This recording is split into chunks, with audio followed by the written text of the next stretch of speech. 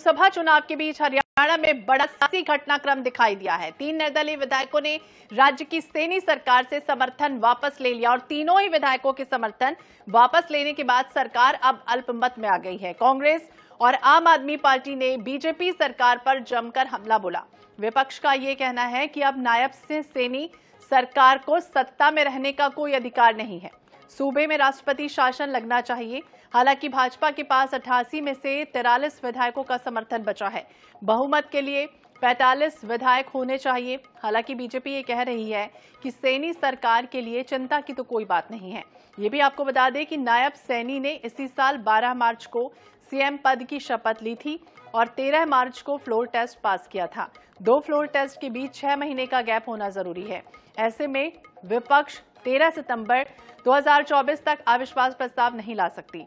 वहीं इसी साल अक्टूबर, नवंबर महीने में विधानसभा चुनाव भी होना है और ऐसे में अब सवाल यही बचता है कि आखिरकार कांग्रेस ने फिर तीन विधायकों का समर्थन लेकर इतनी ताकत क्यों दिखानी चाहिए? तो उसकी वजह, लोकसभा चुनाव माना जा रहा है। ये भी बता दें कि हरियाणा में लोकसभा के लिए 25 मई को एक साथ सभी सीटों पर मतदान होना है।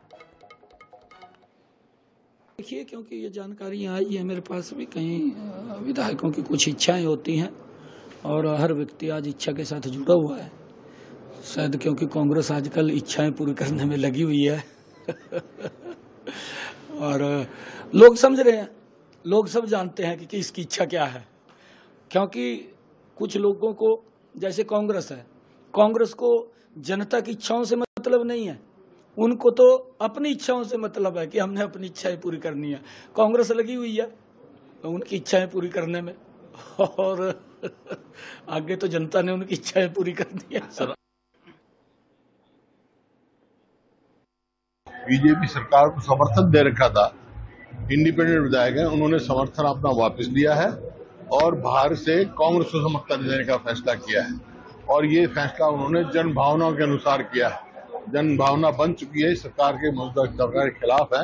उन्होंने कहा भी जन भावना बनी हुई, स्वास्थ्य कांग्रेस का समर्थन करना चाहते हैं।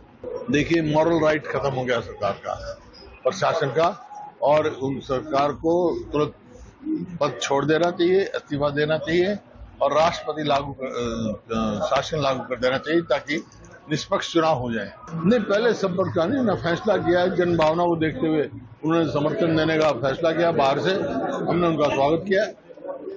कांग्रेस में क्या प्रभाव पड़ेगा कांग्रेस का। कांग्रेस का समर्थन करेंगे ना वो चुनाव में?